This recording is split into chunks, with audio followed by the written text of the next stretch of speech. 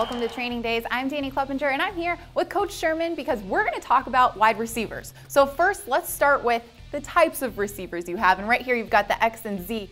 Why are they called that? And, and what are the differences between them? Well, the difference is, is basically the Z will go to the two receiver side. So the tight end and the Z will go to the strength call. So if we said this is formation is I, I right, so the Y and the Z will go to the strength call. The X will always go away from the strength call.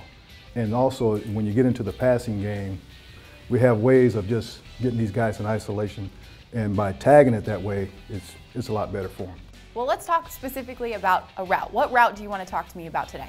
Well, I'm going to talk to you about a route that we uh, ran uh, in, in, San Francisco, and what we called it was uh, 22ZN. And basically, on that particular route, the receiver had at that particular time was Jerry Rice. And so basically, what he had to do, he had to read how this corner is playing it. So, for example, the 22ZN is basically this. He's going to push up to a depth of 12 yards and then he's going to plant and he wants to work right back to the quarterback. So at depth of 12 yards. So if he had zone coverage, he's driving up the field uh, and then he's planting at 12 and he's coming back to the quarterback. If it was a situation, if it was a, a roll corner, say, and he gives us a cover two look, half field safety, then what he would do, he would uh, alter his release a little bit, widening the corner, slipping him back inside, getting back on track, pushing up 12 yards and coming back to the quarterback. If it was a situation, if it was man, and that corner is playing me inside technique, okay, now what Jerry would do, the receiver would do here, is he would push straight up the field knowing that the corner is inside, and then he would plant at that depth and he would come right back down the stem, knowing that this corner is playing inside technique. So the quarterback saw it, the receiver had to see it, and so now we know that that ball is going to be thrown to your outside shoulder off the technique of the corner. Now, the third thing we would do, we got what we call two man. Now, what happened is the receiver and the quarterback would have to see the same thing. And so sometimes the NFL, a lot of these teams do a great job of disguising coverages. But when we get a two man alignment, when he releases, what happens is in two man, this defender here gets in what we call a trail technique. So he's going to trail just slightly underneath with this half field safety here. Everybody else locks up man. He locks up man here. He has the back man to man, man to man, man to man. He rotates to the middle of the field. And sometimes what happens is these two, these two receivers, if he stays high, he may double here. They may take the back whichever way he goes. This safety now comes down and takes the tight end man to man. So in this case scenario right here, what we tell, taught the receiver is when you release, we want to get on top, push up your depth, and if this guy is stacking you in this two-man technique, you make your move, and then you want to speed release at your depth, and it may be 10, and then you want to come downhill, cut this defender off, and then flatten across the field. So the quarterback and the receiver have to be on the same page and understand what's happening there.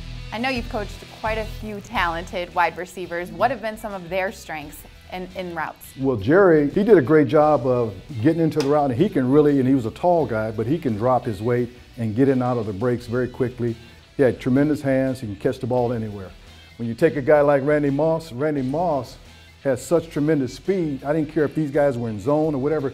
Randy Moss would have a route, say for example, if he's running a go route, uh, he can just blow right by the coverage. Even if that corner is playing at eight, nine yards off, Randy can go by him. And then you get a guy like Dez Bryant. Dez is very powerful, he's explosive, and he has the ability to go up over you. So he's very, as you see, and when you watch him, he's very good in the, in the red zone because when they're one-on-one matchups, he has the ability to go up over a defender, or if a guy's playing on top, Tony Romo and Dez, they got a great, do a great job of throwing that back shoulder throw. So guys have different uh, abilities to do different things. You've got to, as a coach, you got to put those guys in those situations where they can have success. Now one of the weapons that you have on the St. Louis Rams is Kenny Britt, and I know we're going to watch a touchdown that he had against the Broncos last season, so walk me through this. Okay, right now in this situation, we're in what we call a twins with a Z short and uh, Tavon Austin is coming in motion, we're going to fake the handoff to Tavon, okay? And so in this case scenario right here, this safety is coming up because we do run plays where we hand it to Tavon, but on the backside we have our X receiver running what we call a deep over route just to grab this backside safety. And then in running this play, Kenny has a post route. And what he has to do is close the cushion on this corner right here, keep that post high because what happens is when when the safety jumps to X, this corner now he's going to, you know, what we call he's going to trail, he's going to get deep. So that's the reason why we have to keep that post on this side, actually on this side of the hash. Now the quarterback sees it. He's got to determine what angle he wants Kenny to run, and Kenny does a great job of getting on the corner and making a, a great play right here. We want to make it look like he's going to run a go route, and then he puts his foot in the ground and he runs right, you know, runs right by him and makes a hell of a play, heck of a heck of a route and a great throw. Tavon Austin in motion. They fake it to him. Hill back, wants to launch. Will down the field. Kenny Britt running one-on-one coverage. Britt's got it. 20, 10, 5. A walk-in touchdown by Kenny Britt on a 62-yard strike from Shaun Hill.